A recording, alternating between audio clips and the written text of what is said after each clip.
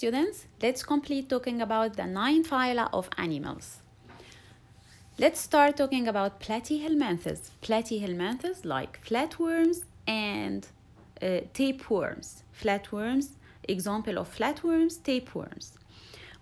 Look at those two pictures. What do you think the common characteristics in flatworms? Number one, they are flat. What's the meaning of flat? They don't have thickness. They have thin body. Thin body uh, plan. Which kind of symmetry do they have? They have bilateral symmetry, exactly. So if you draw an axis here, the body will be divided into two halves that are mirror to each other, the right and left half. So bilateral symmetry. How many germ layers do they have? They have three germ layers, not like cnidarians. So they have three germ layers. What are those three germ layers? Ectoderms, endoderm, mesoderm. Ectoderm, endoderm, and mesoderm.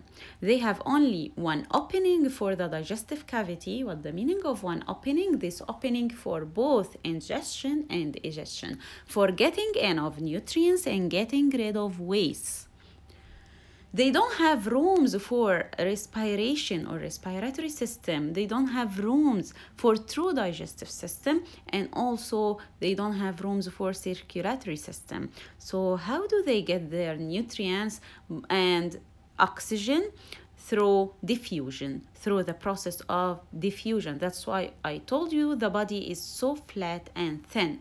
Why so flat and thin? To help the process of diffusion to get in nutrients and get rid of waste.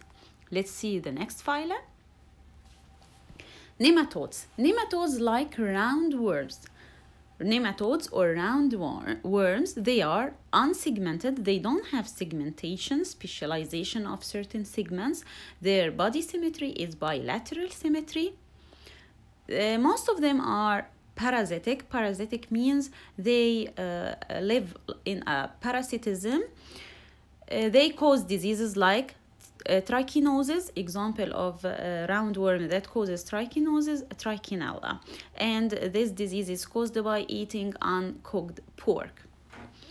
There is another species, C. elegans. This C. elegans uh, is used uh, a lot uh, in molecular studies, studying of genes and embryonic development.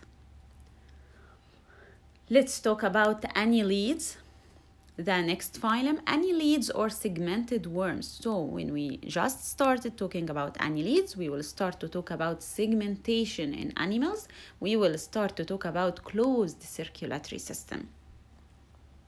What the, mount, what the meaning of segmentation? It means that the body is segmented, composed of different segments, as you see, and uh, each segments uh, have a specific each uh, group of segments has a specific function.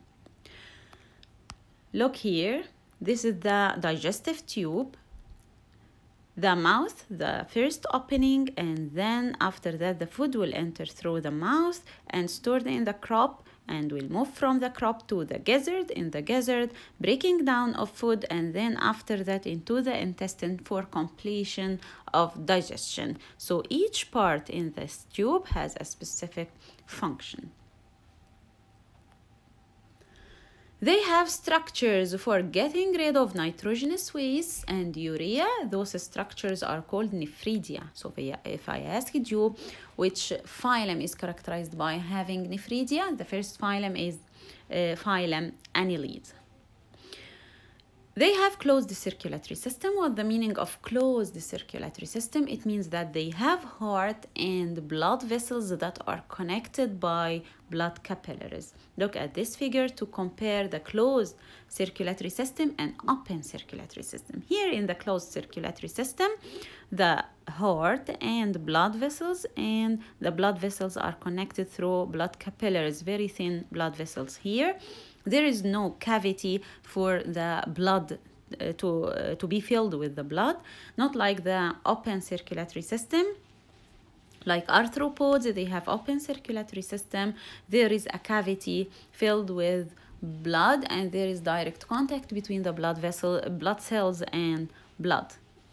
Look this is open circulatory system and this is the closed circulatory system of course the closed circulatory system is more efficient than the closed circulatory system the open circulatory system they are hermaphrodite. What the meaning of hermaphrodite? Hermaphrodite means the one individual has both male and female structures and they can diffuse also or they can get oxygen and get rid of carbon dioxide through diffusion through the moist skin. That's why their skin is always moist. Look the earthworm and the uh, leeches